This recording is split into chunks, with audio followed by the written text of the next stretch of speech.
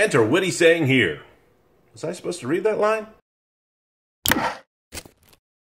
Hey there, hi there, ho there, Andrew here, and I have to say, I didn't think that this shirt was going to get the attention that it did. Now, for those that are wondering, no, I didn't buy this shirt anywhere, and you might have tried to Google it or search it on some type of other search engine, and you couldn't find it, but there's an answer for that. And the answer is, I made this t-shirt. I like the idea of the t-shirt, and I noticed that nobody had made it online, so I designed the shirt based off of the old Reagan Bush campaign shirt and made my very own Regan Pazuzu shirt instead. Now, the cool thing is, you can buy this now. I had toyed with the idea a while ago about making a novelty t shirt business online, and I bought a domain name, and I never did anything with it. That is, until now. Yep, I just launched today, as in just about an hour ago from this recording, the website absurdittee.com. That is the three words absurd, it, and T, all mushed together absurdittee.com. So this is going to be the website that you can go ahead and buy this shirt exclusively because nobody else has made it and basically any other shirts that I come up with later on. Now, if you want to go ahead and buy the shirt to show some support to me, I would greatly appreciate it. But if you want to buy the shirt because you think it's a cool shirt and you want it yourself,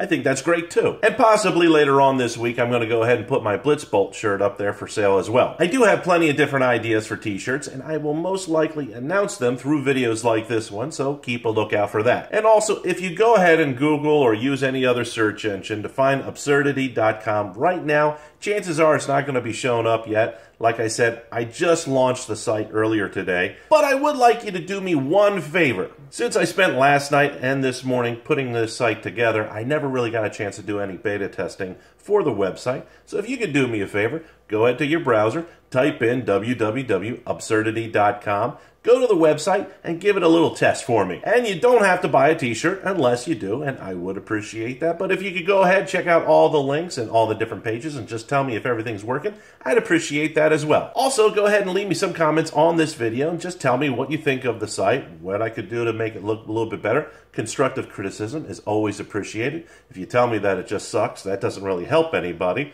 Might make you feel a little bit better, but um, what do I know? And if you like the idea of seeing what types of t-shirts that I can come up with, and remember, I can't use any licensed material without permission, go ahead and tap that like button. Don't forget to subscribe so you get notified the moment I upload, whether it is a review, a vlog, or an update.